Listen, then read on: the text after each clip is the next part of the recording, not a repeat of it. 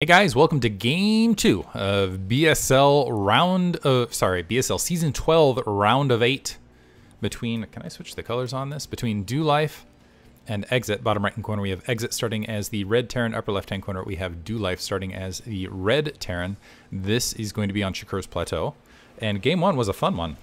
Actually, as far as TVT goes, oftentimes TVT can get pretty laborious, particularly when it goes into the really long-term map control tank matches, and there's also just what can happen is, is there's just a lot of sitting around waiting for someone to make a move, waiting for someone to macro up, and it feels like there's just really for for the Terrans playing, it's intense and it's challenging, and you got to keep an eye on your opponent, and so there's a lot of scanning and counter scanning, counter scanning, and attempts at tank lines from the north and attempts at tank lines from the south, and so on and so forth, and it can you know, and then remacroing, reestablishing battle lines. And so it can be one of those matches that sometimes can go uh, hours in length. And more often than not, I would say this is the matchup that ends up being longer than any other matchup. But it feels like with the current map pool, I was actually just uh, kind of trying to listen in on Artosis's and other thoughts regarding regarding TVT in the current meta, where it's a little bit more vulture heavy. And the conclusion was is it's a little bit more map centric, is because maps are a little bit more open these days. That is what is causing basically because you have a larger open natural expansion and kind of larger open maps for vultures to kind of run around on that is what is leading to more or less the current vulture heavy play. Which i'm wondering if there were previous maps where that was not the case where that ended up yeah anyway. So i do like the new vulture meta i will say. I, at least as far as a commentator goes it makes it a little bit more exciting and a little bit more uh, speedy. And I'm wondering if we're going to continue to see that as a trend moving forward, or if it's going to cycle back towards the Siege Tank Goliath versus Siege Tank Wraith, uh, mid game, things like that. Anyway, looks like Exit's going to scout the upper right hand corner. He's making his way to the upper left.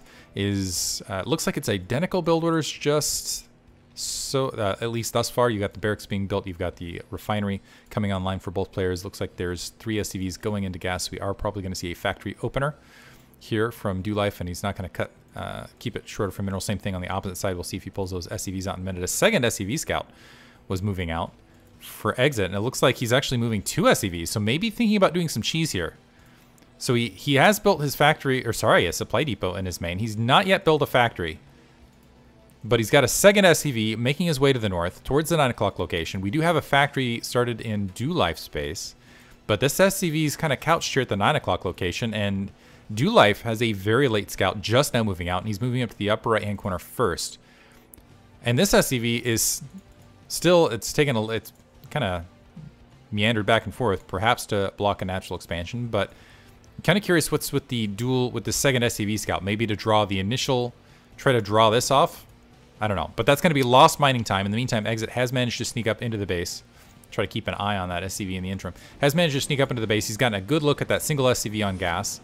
This will be the big indicator. We do have, we do see double SCV on gas. Oh, nope, never mind, pulling off.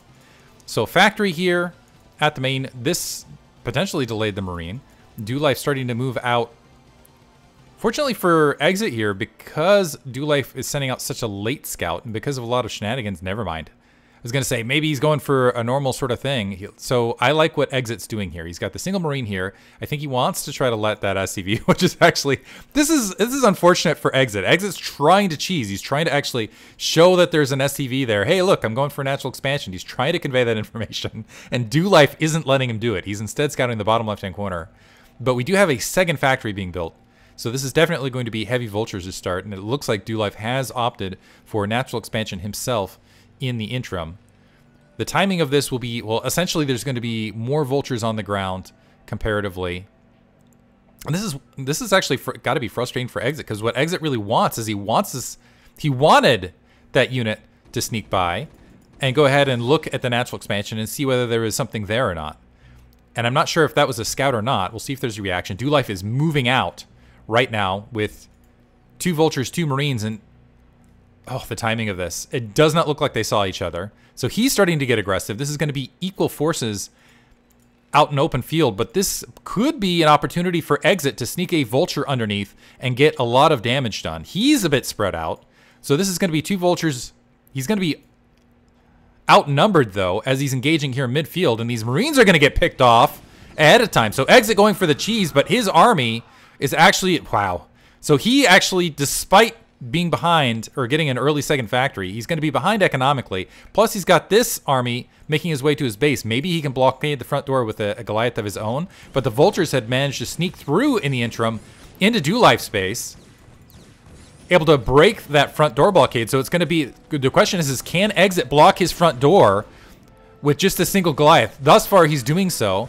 He's getting a lot of SCV kills on the opposite side of the map. The Marines are down. The Goliath is still standing, and the Vultures are still hammering away at it, trying to get through the front. That the Vultures on the opposite side of the map are clearing out all sorts of SCVs. A Goliath was built out of Exit's 9 o'clock, and that's GG for Dolife. Well played, Exit. so, despite trying to convey some false information, not being able to do so, and despite kind of getting end around he uh, is able to pull out the victory overall. So game two goes to exit. Hope you guys enjoyed it. Thanks for listening.